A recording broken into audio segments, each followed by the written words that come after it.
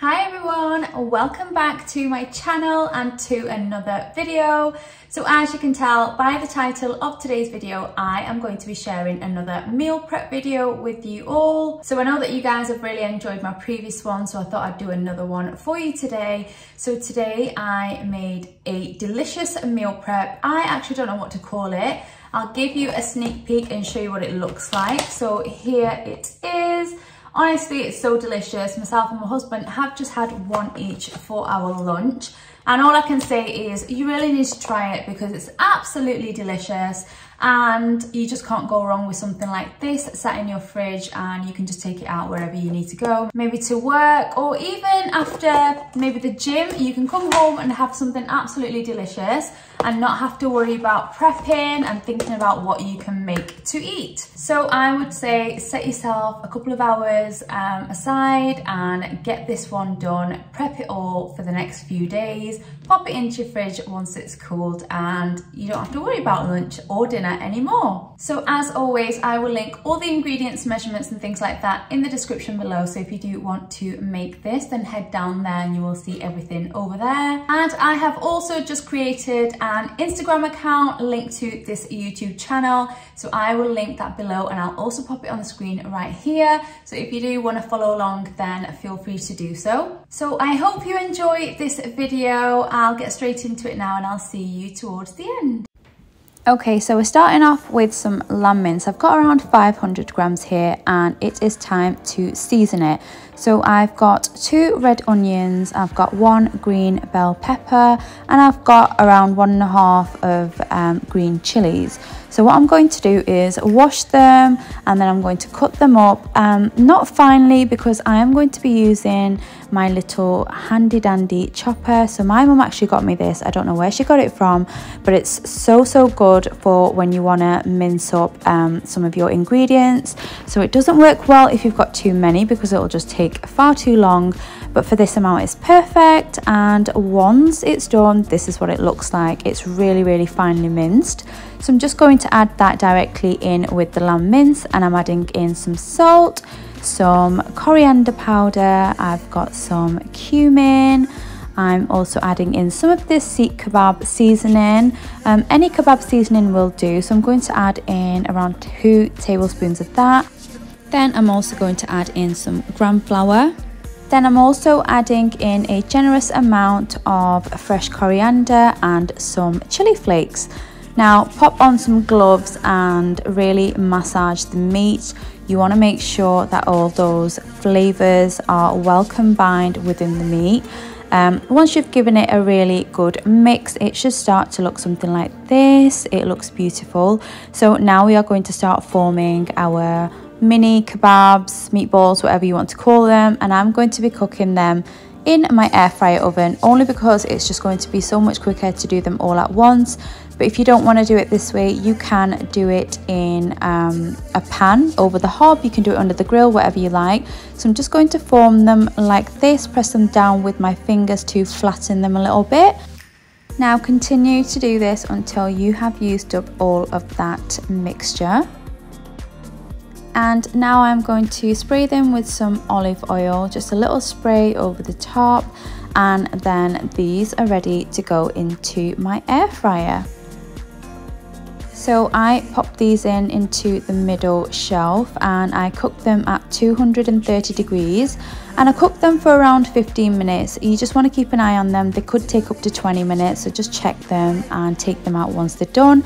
Now moving on to the rice. I've got a cup of rice here. This came out to be 315 grams. Um, so I'm just going to rinse that and soak it. And then I'm going to chop up one medium onion you want to chop this up quite finely and then I am going to heat a pan over medium heat. Add a little bit of olive oil in there and then add in your chopped onions. Now you want to fry these off for around five minutes just until they have softened a little bit. Once they are there it's time to season so I'm adding in some red chili powder, then I've got some cumin, some salt and some garlic powder as well. Now just give everything a little stir and then add in a splash of water to make sure nothing is sticking. Then I also added in around a tablespoon of tomato puree. Again, give that a mix, add in a little bit more water and just cook everything together for around five minutes. And once it looks like this, it's time to add in some water. So because I had one cup of rice, I'm going to add two cups of water. Stir that through and then once this comes to a boil it's time to add in your rice that you had soak in. Um, now just give everything a little stir again and once it looks like this you want to turn the heat right down and let this simmer for 20 minutes and then turn the heat off now I'm going to be making my garlic sauce. You've probably seen me make this a few times before, but in case you haven't, I've got some Greek yogurt. I've then added some mayonnaise. I'm now taking around five cloves of garlic, which I'm just going to mince and add those in as well. Then I'm also going to add in some dried mint, so around a tablespoon. Don't forget all the measurements are down below if you don't hear me mention them here. Now just give everything a really good mix around and this is my creamy, delicious garlic sauce. And because we are doing meal prepping now, I bought these little sauce tubs, which are perfect for meal prep boxes. So I'm just going to pop my garlic sauce into these tubs and just set these aside until I need them. But how cute are they? Like I said, they're perfect. You can just take them out when you need to heat up your food. So now that everything is nice and cooked, I am going to start boxing up the food. So I'm starting with a generous amount of rice. Then I'm popping two of these garlic sauce tubs in each box. Um, and then I'm adding on our gorgeous meatballs and just look at this meal prep. Honestly, these meals look delicious, tasted delicious, um, they were perfect.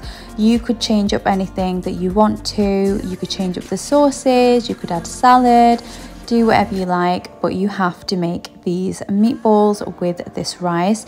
They were honestly so tender and juicy on the inside. You can see all those herbs and spices running through them. And they were so, so soft as you will see here. They just broke up when I applied a little pressure um, and they go so so well with this garlic sauce as well. Um, so I would really love if you try this recipe. You don't have to meal prep this one if you don't want to. You could just literally make it up as a meal for one of your weeknights or even on the weekend.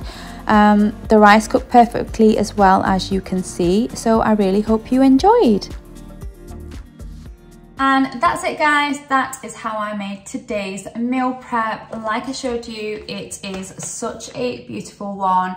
One thing I would have done, which I completely forgot, is I could have just changed one of these tubs and filled it with like a mixed salad, maybe a little salsa that's homemade.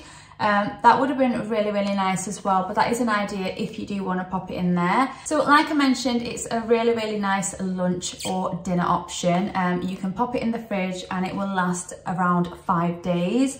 Um, and these meatballs that we made, honestly, they are so, so tender and juicy. They were not dry whatsoever and the rice turned out beautiful as well. I was actually going to use one of those microwave Mexican rice packets, but then I thought if somebody doesn't want to use them and they want to make a homemade rice, then I should show them an alternative. And this rice was actually perfect going along with these little meatballs.